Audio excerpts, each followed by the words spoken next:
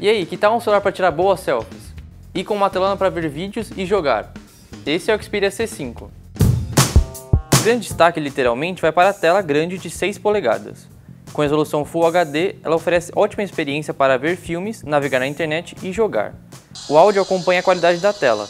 Com dois alto-falantes, o C5 executa músicas com qualidade mesmo sem fone de ouvido. Obviamente, com uma tela de 6 polegadas o aparelho ficaria grande, ele tem 16 cm de altura, 7,9 de largura, pesando 187 gramas. Ainda bem que ele é bem fino, com apenas 0,8 cm de espessura. Levá-lo no bolso não é uma tarefa das mais fáceis, dependendo da sua calça. Usá-lo com apenas uma mão também não é para qualquer um, pelo menos as bordas são bem finas, isso ajuda a vida do usuário. As bordas são de metal e a traseira conta com proteção contra riscos. Segundo a Sony, a traseira é curva, mas na verdade não tem lá muita diferença para outros aparelhos da marca. Além dos botões de volume liga-desliga, o aparelho tem um botão exclusivo para a câmera. Ainda na lateral temos os slots para o cartão microSD, que pode ser de até 200 GB, e para os dois chips nano SIM. Colocar os chips é fácil, o problema é tirar. Tá certo que você não vai ficar toda hora tirando o chip, mas quando precisar vai ter trabalho.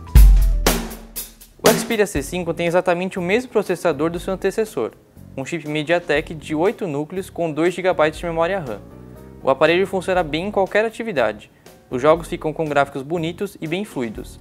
Mas temos um porém, o aparelho esquenta bastante durante o uso. Mas bastante mesmo. Esquenta! Com alguns minutos de jogo, o aparelho chegou a 45 graus.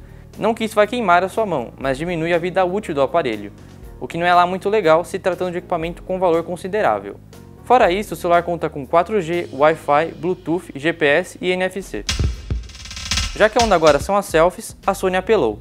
As duas câmeras do aparelho são equivalentes, com 13 megapixels de resolução e praticamente os mesmos recursos, como estabilizador e HDR. A câmera frontal tem uma lente grande angular de 22mm, para caber todo mundo na foto. Ah, e ela também conta com um flash LED igual ao da câmera traseira. A qualidade das imagens é bem parecida, boa em ambientes iluminados e com alguns ruídos aceitáveis no escuro.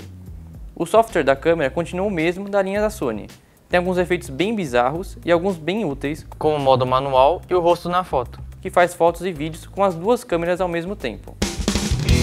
Com a tela de 6 polegadas, o consumo de energia tende a ser maior, e a bateria de 2.930 mAh dá conta do recado. Usamos bem o aparelho por mais ou menos 6 horas e no fim do teste ele ainda tinha 42% de energia.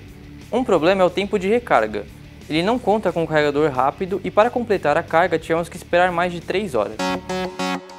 O Xperia C5 é voltado para quem gosta de tela grande e também boas selfies, mas se você já tem o C4 e quer trocar pelo C5, a gente julga que isso não é necessário, já que o processador é o mesmo e o desempenho também.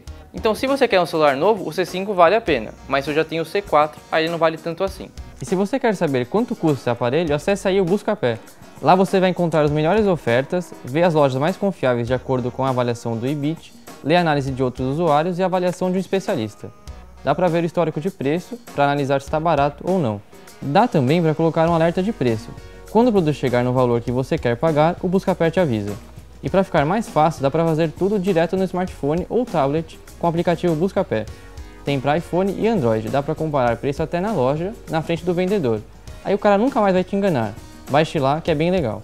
Então é isso pessoal, se vocês têm alguma dúvida, deixa aqui embaixo nos comentários também. Deixe seu joinha se você gostou do vídeo, se inscreva no canal e até a próxima. Tchau!